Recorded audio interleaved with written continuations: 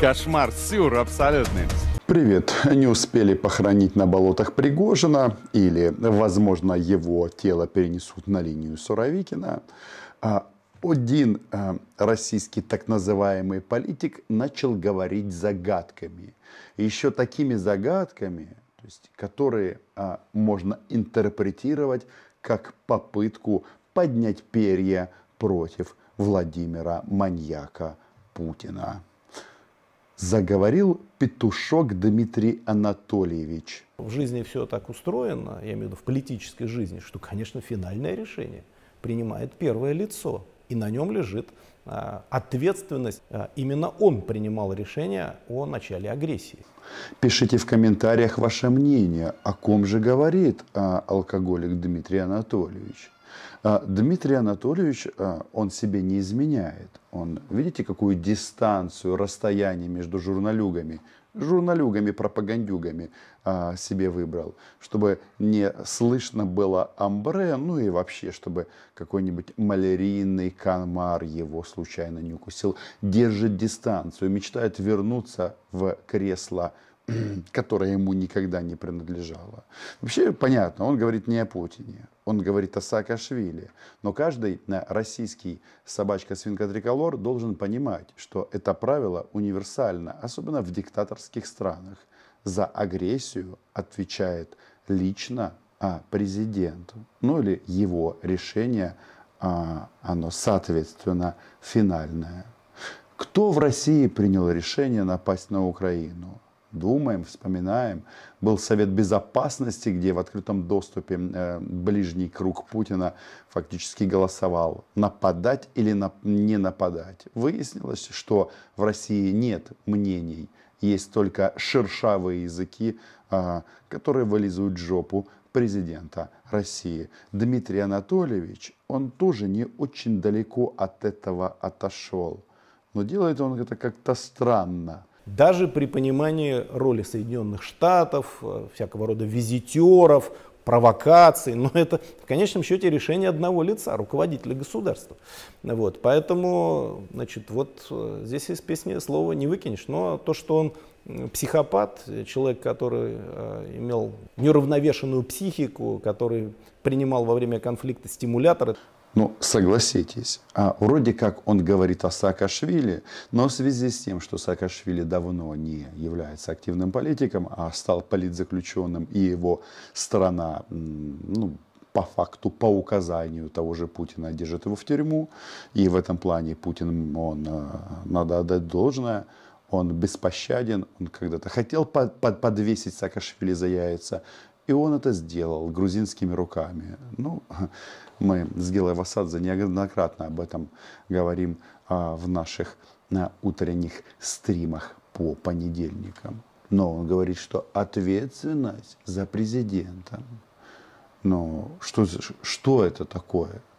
Но по факту это называется крышить батон практически в прямом эфире на Владимира Путина. Ведь каждый в России, ну да, он, конечно, делает вид, что э, политика не интересуется, но в глубине души у него живет этот вот червячок, который э, спрашивает, а может наш президент э, идиот, э, маньяк, ну, можно любые диагнозы ему ставить, но факт остается фактом, что он банально хочет крови. Так вот, этот Дмитрий Анатольевич, а, ну, не знаю, а, очевидно, в хорошем настроении духа был, он начал размышлять о Грузии и, естественно, о войне с Украиной. Задался интересными вопросами. Ну, значит, про такие а, вопросы войны и мира существования. И автоматом начал опять же продолжать крышить батон на а, Владимира Путина. Это тоже нужно понимать. Ну, во-первых, это прежде всего это проявилось в ходе этого мятежа. Ну, его же не остановило ни, ни военное, ни да. главное управление, так называемое, бывшее классическое главное разведное управление. А, слушайте, когда Э, они начали, пригожинцы начали выходить из Бахмута, Ну, и они объявили вообще, неверо... совершенно невероятно в военной истории, так, нормальных таких действий. А мы вот уходим. Мы вот решили отдохнуть немножко, мы выходим. Так, ну, ГРУ должна была с ними расправиться, а, а послали против них какого-то полупьяного полковника, который несколько месяцев назад шел где-то охранником на Урале, они быстро его ликвидировали. И это ГУ, значит, э, безусловно, Главное управление военной разведки сочувствовало в значительной степени действиям. Ну, мы же видели знаменитую беседу на, на, на этих самых, на скамеечках, с семечками почти, генерал Алексеева. Нет, там э, скамеечки для покуривания внутри штаба ген, его. Ген, захваченного штаба Пригожина. Захваченный. Э, да, отдайте нам э, Шойгу Герасим, забирайте их нахер. Кроме того, вся военная контрразведка ФСБ, она должна была, во-первых, предупредить этот заговор, если он начался его подавить, особенно после того, как главнокомандующий выступил с статическим приказом уничтожить этих предателей, разгромить и так далее. Вот. Понимаете, было, и мы с вами обсуждали, я повторю наши два основных было два заблуждения основных о Пригожине. Мы все время боролись. Громадное количество и российских, и украинских экспертов разделяло два тезиса. Первое. Да это все не согласовали с Путиным. Это все Путину нужно там ослабить э, Шойгу, да, да, да. и так далее. Ну вот сегодня, наконец, последние, последние адепты этого тезиса, они отказались, хотя в нем что есть истина. Началось, вспомните, началось действительно с Путиным.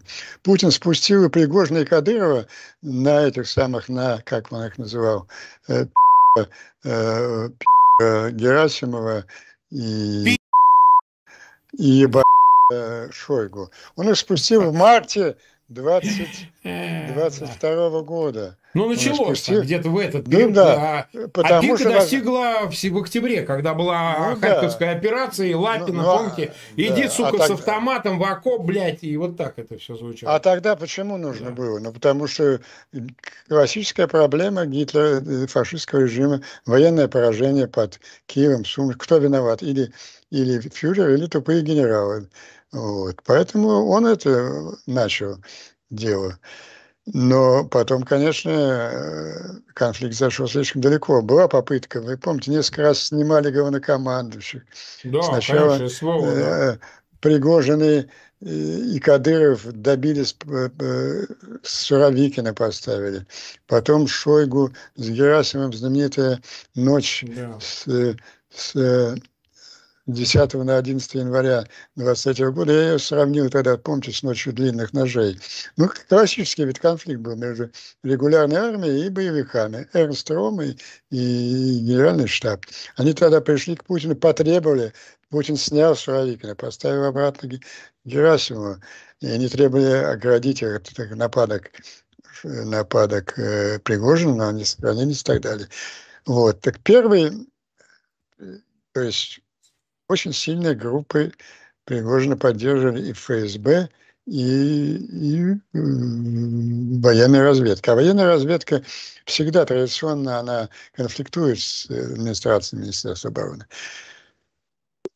И Пригожин, он был инструмент, он озвучивал их тексты. Вот Второй тезис, который меня просто бесил, ну, первый, что это все это они с Пригожиным, Пригожин согласовал с Путиным, а второе, что вот Пригожин – это ястреб, он требует продолжения войны более жесткими требованиями, более жесткими, так, вплоть до ядерного оружия, его поддерживают все военкоры и так далее. Это так.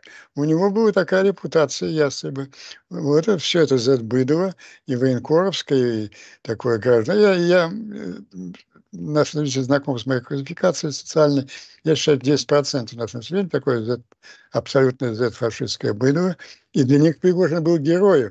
Підпишіться на канал і не пропускайте нові відео. Пишіть коментарі і діліться з друзями. Ми також будемо вдячні за підтримку нашої роботи на Patreon або інших зручних платформах. Реквізити в описі до відео.